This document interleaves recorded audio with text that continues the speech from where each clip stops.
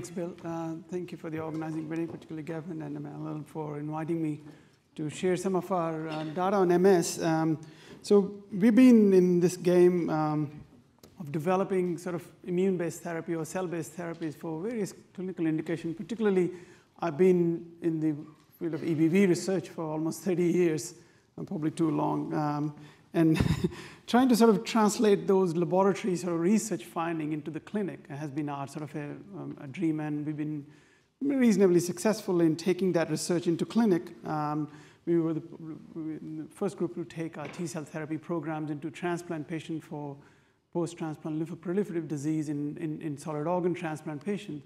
And I remember almost seven, eight years ago when Michael Pender uh, came to see me, and, and it's a journey which we have jointly traveled together, and I would like to share that with you, some of the very interesting data. Now we are at a stage where we actually handed over this program to one of our um, pharma collaborators uh, to progress this program, which is moving quite rapidly. So these are my disclosures, um, and particularly I want to mention, uh, because uh, as I said, we have an ongoing collaboration with one of the pharma companies, is the Atara Biotherapeutics, and, uh, um, and uh, um, oops, is it? Yeah. Um, and they are actually a scientific advisory board of theirs, and also we get research funding from them as well. Um, I think that's an important message because I'm going to share some of the, uh, the recent clinical trial data as well. So as I said, um, I just before I start, I do want to acknowledge Michael uh, and, and Scott Burrows, who are two of my colleagues who we've been working together for well, over 30 years, and with Michael recently in almost a decade now. I'm, I do not know how many of you know Michael. Michael is a very interesting character. He's, he's been in the field of MS for many, many years, and he's been championing this whole concept of pushing this EBV link um, and, and trying to argue the case that somehow the EBV infected B cells are actually the main culprit in MS pathogenesis. And, and many, I think, probably poo pooed the whole idea of his, and, and it seems to sort of, there's slight turn in the thinking of a lot of people, maybe not everybody in the audience, but and slowly there is an increasing recognition that there is some role of EBV in MS, whether that is the major role or a minor role, I won't argue about that. Everybody has their opinion, but let's see what data I have presented to you, and you can make your own decision on that. Um, we heard in the last two days that MS is a very complex disease, and it has many intrinsic and extrinsic risk factors, and I've listed some of those.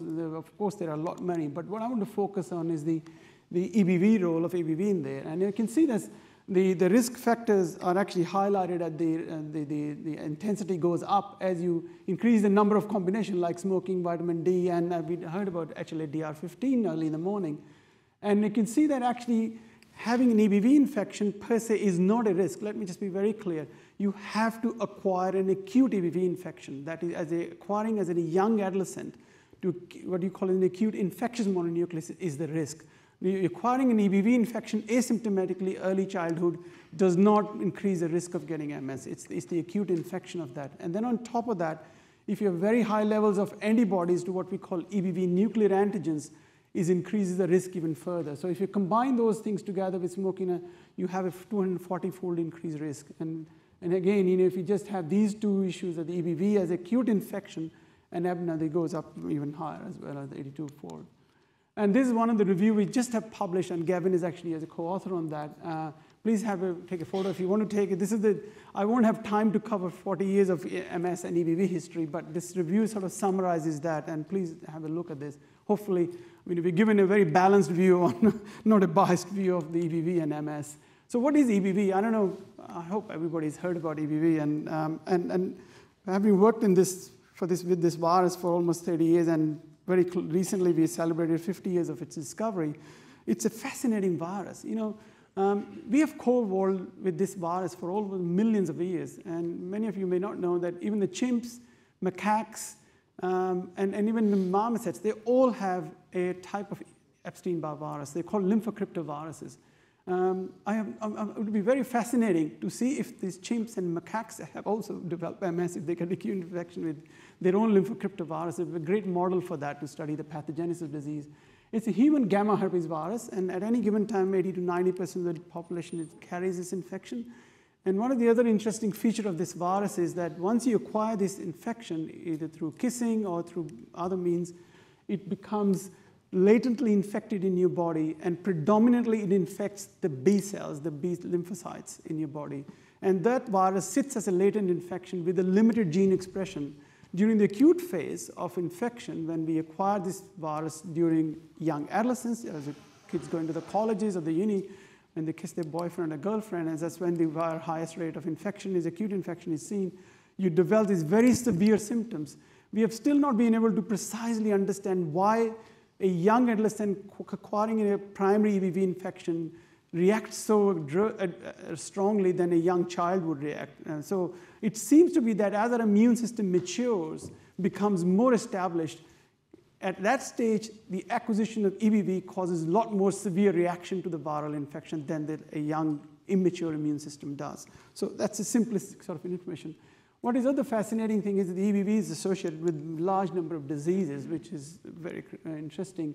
It has two different type of diseases. One is called B-cell origin diseases, and there are some typical atypical diseases which arise in non-B cell lineage cells, which is epithelial cells. These are many of these are malignancies, um, nasopharyngeal carcinoma, gastric carcinoma, T, TNK lymphoma. All these are actually are in epithelial or non, non-B cell origin.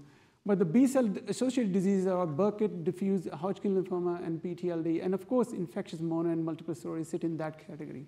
The other interesting thing is some of these diseases are predominantly origin in immunosuppressed individuals. The other diseases emerge in immunocompetent individuals.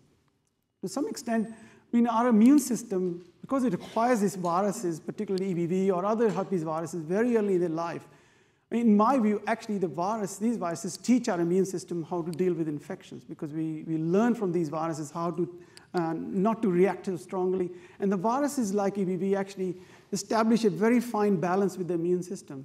These viruses don't want to kill us. They actually want to live with us. And we have, they, they, they only, they, only they, they live with us till we die, basically, and they don't cause any major illness. And unless you have, our immune system goes into some sort of a dis, dysfunctional stage, that's when these diseases emerge, uh, whether it's MS or any of the lymphomas. It has underlying immune defect, which leads to these, these sort of complications. What is the history of EBV and MS? It's very interesting. I drew out this sort of looked at a lot of papers and found this sort of timeline history. It's as early as 1979 that very first story came out when there was a link was suggested between EBV and MS. And it's almost like, you know, 10 or 15 years before that was when the EBV was discovered by Tony Epstein in collaboration with Dennis Burkitt, who used to work in Kenya, and he used to supply him some of the tissue samples from kids who had Burkitt lymphoma, and they could not find anything initially, but they later found that that lymphoma had EBV in them, and that's how the whole thing progressed. And then subsequently, a number of other studies appeared. When there was 1980, the high EBV antibodies were noticed, and of course, the uh, link between IM, which is an acute EBV infection, and MS was actually first time demonstrated in 2010. And I put our place in there because the, we, we, did the first T cell therapy studies of that one. But I think the more important study was that uh, has come from the epidemiological sort of um, evidence, and I think Gavin mentioned that this study is done by Alberto Escherichia. And this is a fascinating study in U.S. military personnel, where they are these military personnel are bled at regular interval as a part of normal monitoring. And what they noticed that when they actually went back and followed these, some of these um, military personnel, those people who developed MS and who did not, and actually all those people who did have a history of MS developing had a history of acute infectious mono in that some time of their life before they developed the uh, infectious mono. And very interestingly, exactly, this is showing the high risk of if you have the risk of getting MS increases as your EBV antibody responses increases at up as high as 36 fold, sort of very high. As your antibody titers, if they are greater than 320, you have a very high risk of developing MS in this, in this cohort. And the other interesting observation, I know there was some suggestion made in the morning that people haven't seen any B cells or lymphoid cells in the tissues. This was a very interesting study published in 2007 by an Italian group where they actually showed very clearly that there are these so-called ectopic B cell follicles in the meninges, and, and that was the one that started the whole discussion in where the, I mean, whether what the role these B cells might be playing in this disease. And what was fascinating, within these, these so-called follicles, they could see EBV nuclear, or they call it EBV encoded RNAs in there, which is called EBER. But on top of that, these EBERs were actually correlating wherever the B cells were there, there was the EBER expression in these, in these lesions. So you can see every single B cells, which is there in the follicles, also has what we call EBV encoded RNA there, clearly showing very strong correlation. But not only that, these B cells also express EBV antigens, number of other antigens. So there's an EBV nuclear antigen 2, latent membrane 1, and also other ones which is associated with the lytic cycle of the virus. They showed that very nicely in, in all those sort of situations. And more recently, Larry Steinman's group, where I'm also co-author in this paper, and they've shown very nice study. This is actually a, I, I like this because not because I'm author on this, but they did a much better sort of a control study. In a sense, they had these TOPSI samples, but also took some controlled brain samples, and then took samples from the chronic active plaques and the chronic plaques. They could just see the expression of CD20, CD130 was a plasma cell, and LMP1 and BZLF1, uh, which is two of the EBV antigens. What was interesting was finding EBV was not that unusual. You, they could even see in the control brain samples also there was some EBV detected. But what was interesting was that the EBV was much higher, much frequently detected in MS patients than the LMP1 expression, which is the latent membrane protein of EBNA1. But the opposite was the case with the BZLF1. Very few BZLF1 positive, that is a lytic cell, infected cells were seen in the, in the, in the MS. So I think there is a, a growing sort of an evidence from both from the Italian group and from the Larry Steinman's group that there is some an increased propensity to have EBV infection in the brain, and then it subsequently leads to some other downstream events that drives the whole information due to the EBV infection or the EBV infected B cells reaching into the brain of the MS patients. Now, the obviously question is how does the EBVs control when we get this infection naturally in our body. And I think I'd, here I just want to acknowledge two of the pioneers in this field, which is Dennis Moss and Alan Rickinson. Dennis is actually his mentor, and Alan actually from Birmingham here in England. Uh, they were the two actually people who really established the whole concept of what we call T cell control of EBV.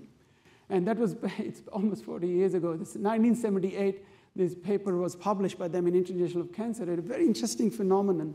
When you actually take peripheral blood uh, from any person of most of you and plate it in, in an incubator or incubate in, in an incubator in a, and put the white blood cells. If you're being exposed to EBV previously, what will you notice that these cells, you will see these clumps growing. They're actually nothing else but EBV transformed B cells. Their immortalized cell line starts growing out.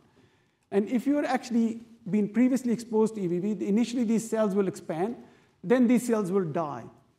But if you have not been exposed to EBV previously and you add exogenously the virus on the cells, these cells will grow and continue to grow and they will never die. And there's a simple principle in there. In this case, the patients who are donors who are seropositive or they have been exposed, they have existing immunity. So initially the cells grow, but then this T cell immunity comes in and kills those outgrowing B cells, in EBV infected. And they term this concept called regression very nicely word. When back in 1970, the, the, word that was used regression in, for this. And whereas the seronegative people cannot regress these outgrowing of the B cells because they don't have any T cell immunity, basically. So that's the whole concept. And this simple principle has now become a basis of T cell therapy for all EBV associated diseases. Such a beautiful experiment, as simple in a plastic dish that somebody's doing, and it turns out to be a, a way to treat patients. The other fascinating thing which Michael has published, a series of papers. I've taken one figure from his one of these papers published in 2014, that if you measure the T cell immunity or the type of the T cells that control the EBV infection in healthy individuals like you and I, you generally notice as you grow older, you tend to maintain that immunity quite well. This is how the dotted line goes. But in MS patients, he noticed that actually the, the EBV specific T cell immunity as you grow older it declines, and, and, and particularly the EBV specific T cell immunity declines in the MS patients, particularly. And what is interesting that very recently, actually last month, the paper has again, another paper has come from the Italian group who originally showed the EBV, that they showed in the same lesions, you can actually have EBV specific T cells migrating into the brain. And these T cells are actually recognizing in EBV infected B cells. The markers you're seeing is, is actually the T cell markers on, the, on those cells which are actually inside the brain lesions clearly showing you the, the migration of those B cells into the lesions can also drive or attracts the EBV specific T cells to come into the site and then trigger the downstream sort of all the inflammatory process. Now, what is the underlying mechanism that could be possibly playing the role in, in contributing the, through EBV-mediated sort of a um, MS pathogenesis. This is one of the theory which has been proposed by Christian Munz and a few other people support this, is actually what happens when the EBV infects the primary B cells, and these B cells start making antibodies, and these antibodies actually are specific to the myelin protein, and then they cross the blood-brain barrier and they go in and damage the Hello? Is the voice gone? Yeah, sorry. Um, so th that actually leads to the, but I think I, am just sort of a plus minus on this theory. I just haven't seen any clear evidence to support it. But I think most realistic evidence is this one, where possibly what happens, the, in an acute stage of infection, when you get a primary infection, the EBV infects the B cells. As you're coming in, then it infects the B cells. That leads to the very strong T cell response. But what happens, some of those B cells, which are also autoreactive, gets infected at stage and escape this immune control. And those are the B cells which are not only stay in your uh, blood circulation, they also reach into the CNS, in the central nervous system. And that's where they start attracting all those additional T cells and other uh, contributing cells, but they also make autoantibodies as well.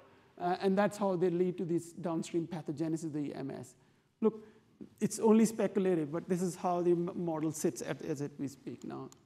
So, but the evidence for the exact role of EBV, uh, sorry, the, the B cells in the pathogenesis of MS, I think to some extent gets sort of supported by two multiple studies where they have used B cell depleting antibodies for treatment of the MS patient. And clearly showing if you give the rituximab, and I think this was discussed early in the morning as well, not only reduces the existing lesion, but also prevents the formation of new lesions as well. And this was a study published in 2008. And more recently, acrelizumab is also supporting the same evidence that you can actually have a significant reduction in the lesions when you treat the patients with acrelizumab. This was a, a recent study again, 2007. And plus, they have a patients have the confirmed disability progression is significantly reduced if you give them anti-B cell antibodies. Now, the argument from our side has been that why to deplete all the B cells? Why not use a very specific targeted therapy, in this case, the T cell therapy, to remove those B cells which have EBV, which might be driving the pathogenesis of EBV, uh, the MS. And to test this hypothesis, we've been sort of started this whole immunotherapy program. And, it, and we decided to think about how we would design the T cell therapy. And what we did was rather than taking the whole virus as a targeting strategy, we actually focused our T cell therapy program to three EBV encoded antigens, which is called EBV nuclear antigen 1, LMP1, LMP2. And why did we do that? Was it because these are three proteins of EBV which had consistently been observed to be detectable in MS lesions or MS lesions with B cells in there. And what we then did, we actually designed a viral vector, which is actually an adenoviral vector, which is a replication deficient adenoviral vector. The other thing which is, before I explain that, these particular proteins are, are very interesting. They are actually, uh, in fact, they can cause uh, transformation of the cells independent of any other cofactors. So you had to be careful how you design the immunotherapy. So we had to actually take specific the fragments of the virus, which were critical for immune control, and design what we call a polyepitope and link the EBNA1 protein in front of that and insert it into this viral vector.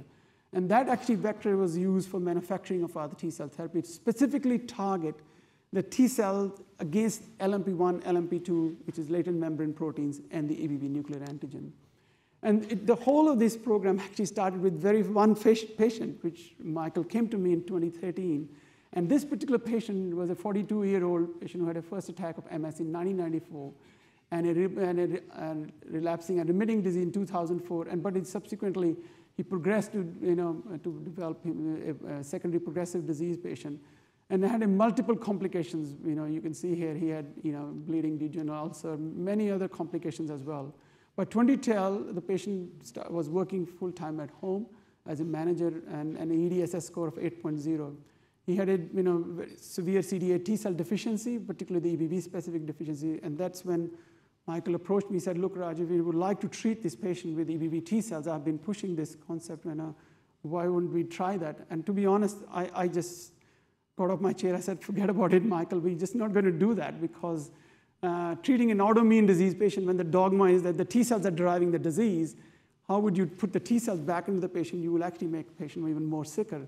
Um, but somehow, I think Michael and I sat down and thought, how would we deal with this? And I'll go through that, what we did to, to overcome that potential threat in our mind. And we designed this strategy of expanding the T cells from the MS patient using this process. The first thing we did was we take the blood sample from the patient, we bring it into our uh, GMP facility, which is a manufacturing facility. We expose a proportion of their white blood cells to this adenoviral vector, and then they are mixed back with the remaining blood cells, and the, these cells are cultured for almost 14 days, 14 to 20 days. And these cells then expand these EBV uh, specific T cells, and these cells go through very stringent testing. The stringent testing not just includes that they are sterile and clean, but also potential self-reactivity. What we call is the alloreactivity or self-reactivity. We make sure that the only EBV-specific T cells are there. But on top of that, we did a very careful dosing strategy that what we will do is we'll treat the patient with what almost like a quarter of the cells that we normally would give to a cancer patient. So we reduced the dose right down to 5 million cells. Then we waited for the patient to, to look at the, whether the patient was not having any adverse reaction. Then we increased to 10 million, 15 million, then to 20 million. I can tell you, very first day when the first infusion, I didn't, did not sleep on that night, thinking the patient is going to be telling us what the hell you're doing to my. So then we followed the patient on the, the week 7, 9, 11, 13. And then every single time we were waiting for the patient to tell us that there is some problem. But to our surprise, the, the patient did not show any adverse event at all. In fact, not even um, flu-like symptoms or any malaise or anything. The, the whole therapy went on reasonably well. To our surprise, um, patients started showing some clinical improvements, which is encouraging improvements. I won't say improvement. Um, you know, it could be, you can call it as a subjective and objective improvements, but it, we noticed that patients started showing reduction in fatigue, painful lower limbs, and spasms, and improvement in cognition and hand function, increase in productivity of the face. But I think what the more interesting thing was that by he started showing voluntary movement of the lower limbs as well. And to some extent, um, I think what convinced me was, was this clinical you know, uh, evidence there. There was a dramatic reduction in gadolinium enhancing MRI lesions in this patient. These are the four arrows showing the infusion time points. And also the intrathecal IgG dropped as well in this patient. And there were three lesions here shown here, which also sort of disappeared post T-cell therapy. And what was coincident with that was that the, the, there was slight improvement, not a huge improvement, but there was slight improvement rather than going down if the patient showed improvement in the EBV-specific T-cell immunity in the, in the blood.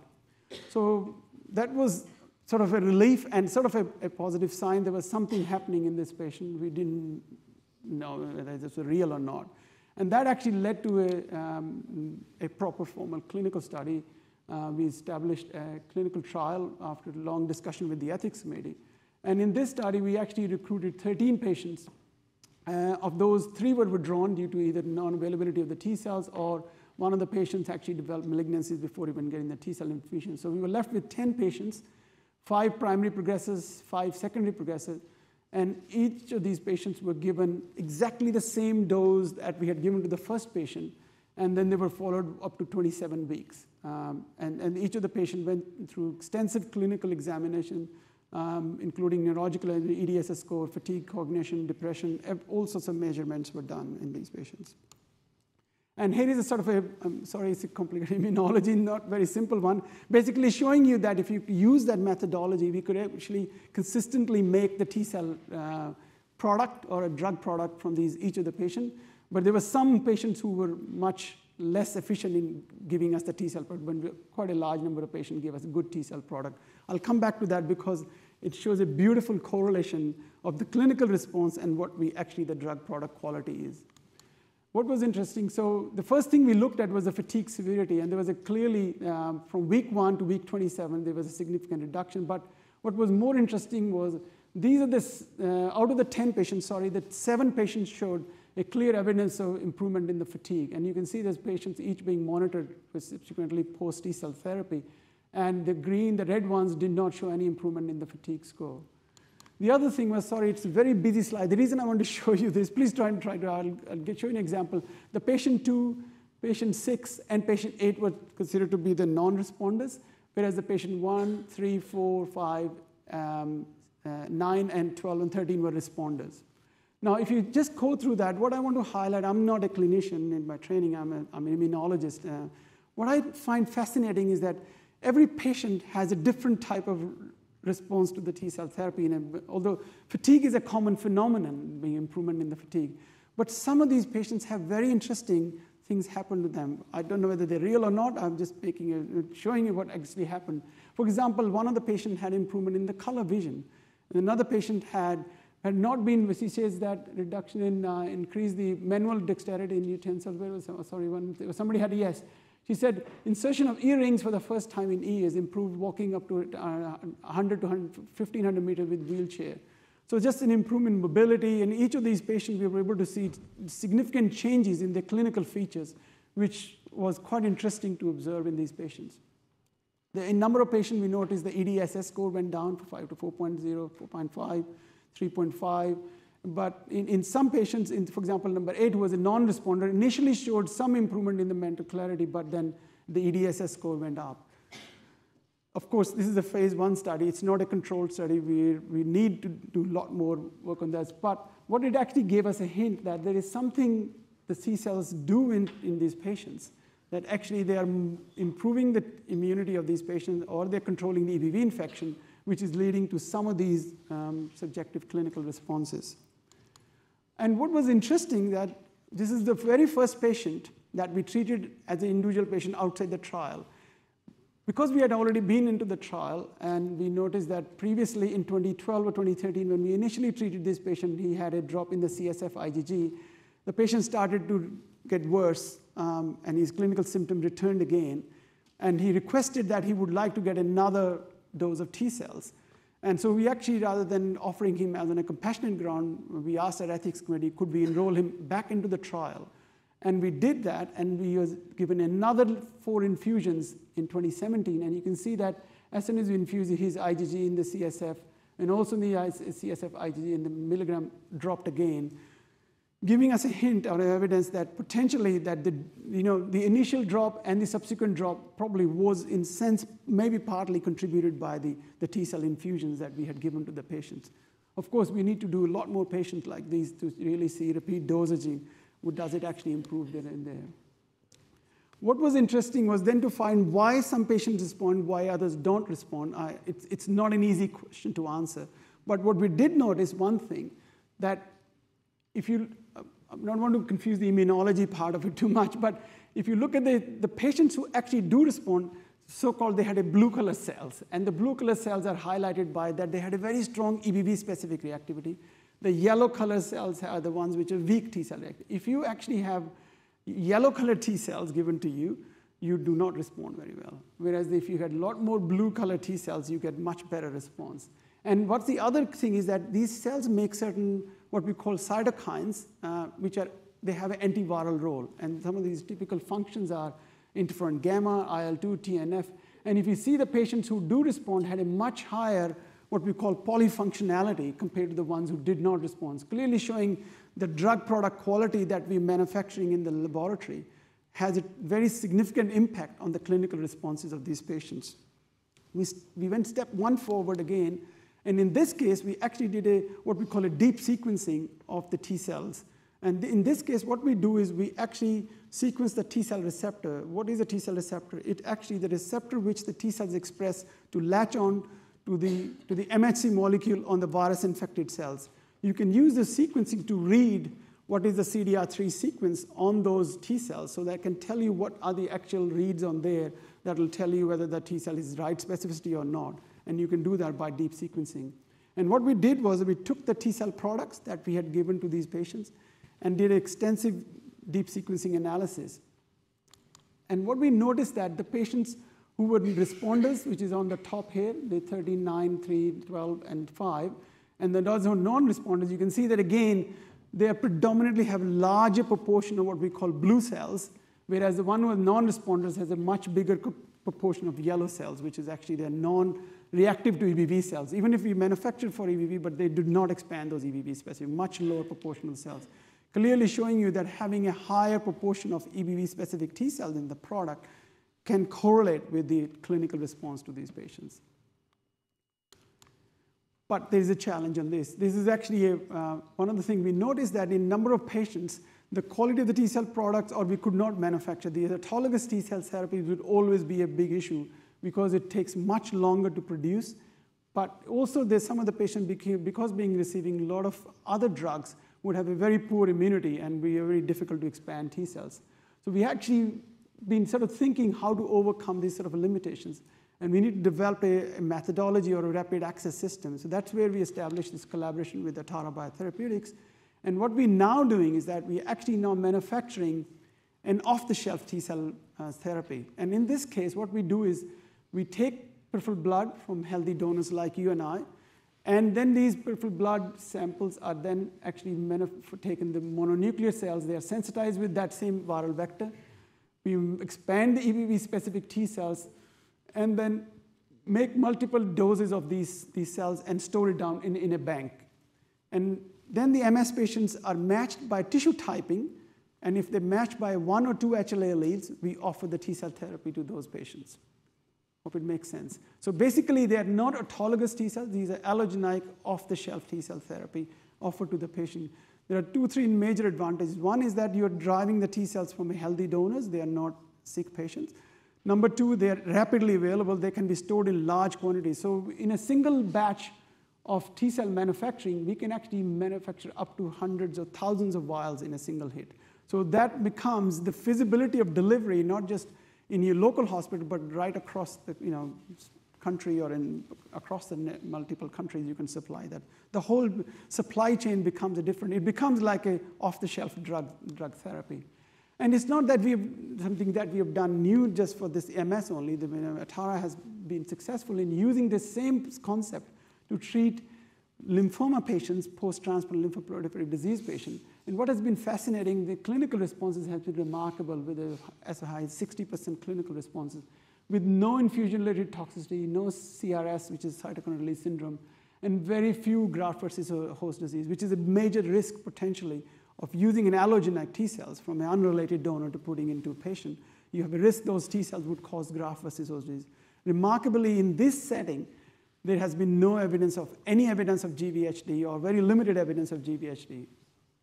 So taking clue from that study and also having the, being developed the whole process, Atara actually recently launched a phase one open label study where they actually pretty much repeated the study that we done in autologous setting, but gone went one step forward.